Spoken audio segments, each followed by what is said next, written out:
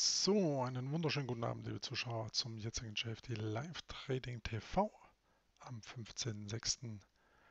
am Abend. Wir wollen auf die US-Märkte schauen und berechtigterweise uns jetzt hier mal den S&P 500 anschauen. Und zwar heute mal hier für Sie ausnahmsweise vorab als Zuschauer bzw. Betrachter des Videos hier den S&P 500 in seinem 7-Jahres-Zyklus seit dem Ende von Bretton Woods, also seit den 70er Jahren wo im Prinzip auch der breite Devisenmarkt wieder seinen Ursprung fand und die Wechselkurse eben wieder frei fungibel waren. Und sozusagen auch hier der S&P 500 grundsätzlich an einem übergeordneten Abwärtstrend, äh, Aufwärtstrend, Verzeihung, Aufwärtstrend steckt, aber immer wieder gepaart ist ähm, oder dies wird natürlich immer wieder gewechselt im Wechselbad der Gefühle, immer mal wieder ähm, durch Konsolidierung und Korrekturen unterbrochen. Und genau solche Phasen finden beim S&P 500 mit relativer Häufung im Siebenjahreszyklus statt, wie wir hier sehen. Wir haben hier grün diese Siebenjahreslinien.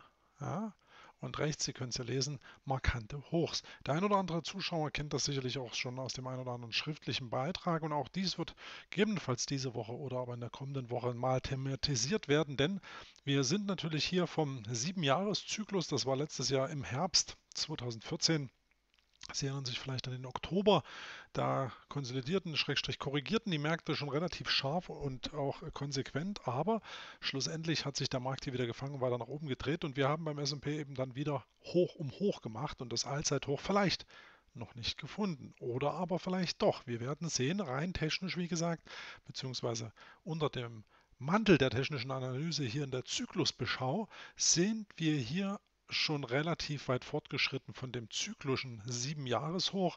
Und Sie sehen, relativ gesehen waren die Punkte immer dicht beieinander. Einem Zeitraum über 9 bis 12 Monate würde ich dem Ganzen jetzt nicht geben wollen. Aber die Geschichte wird in dem Fall ja auch durchaus mal neu erfunden. Und somit wollen wir mal sehen, was hier möglich ist. Grundsätzlich Zyklusgefahr einer Korrektur beim S&P 500. Schauen wir kurz dazu in die Chart-Technik oder in den Chartverlauf. Ähm, da sahen wir in der vergangenen Woche hier diesen Test dieser Aufwärtstrendlinie seit dem Allzeithoch hier in der JFD 24-Stunden-Indikation. Und die Annahme war schon, weil der Markt relativ bullisch schien, im Sinne dessen, dass der Markt sich ja hier dann auch durchaus noch fangen könnte. Das ging auch hier um das Thema Griechenland. Ähm, da gab es hier diese Nachmittagskerze, diesen Nachmittagsausverkauf, der den Markt ja schon relativ sprunghaft nach unten führte.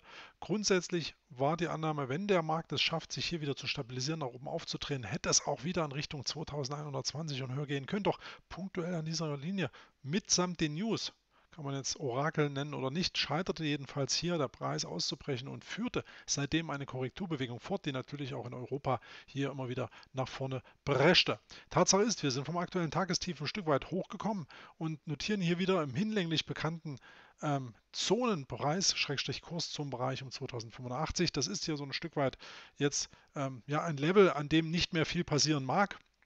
Wenn der Index sich hier nicht drüber halten kann, dann bleibt das schon seit längerem auch benannte Korrekturziel bei 2067 Punkten das nächste Level.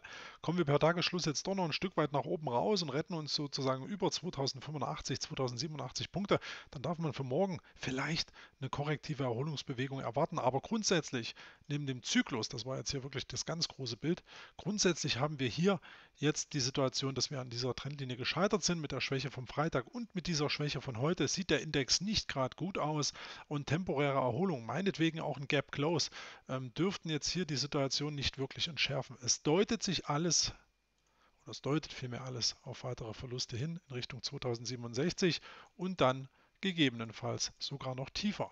Denn was sagt uns die Saisonalität, die wir uns jetzt auch gerne nochmal ins Bild nehmen? Hui, Juni an für sich schon mal relativ durchwachsen mit kurzfristiger Erholung jetzt in den nächsten Tagen, aber dann generell relativ starker Abwärtsdruck.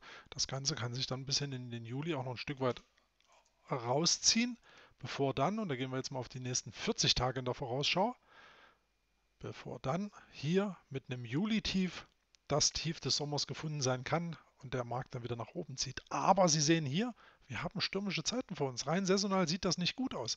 Rein technisch ist der Markt hier nicht in der Lage gewesen, signifikant nach oben aufzudrehen. Und die 7-Jahreszyklik waren schon seit Monaten dass es hier durchaus mal nach unten gehen könnte. Alles in allem, zur Bewertung der US-Indizes möchte ich gar keinen anderen Index heranziehen. Ich möchte vielmehr den breiten S&P 500, wie Sie ihn eben hier in seiner Erscheinung sehen, ähm, ja, thematisieren und auch hier darstellen, dass die Märkte hier durchaus bereit sind, neue Tiefs zu machen. Daran könnte nur die Fed am Mittwoch etwas ändern, wenn hier wieder Botschaften über den Teich schwappen, beziehungsweise in Amerika auch entsprechend aufgenommen werden, dass hier die Zinsanhebungsfantasie doch nicht so konkret ist, wie sie sich jetzt denn darstellt.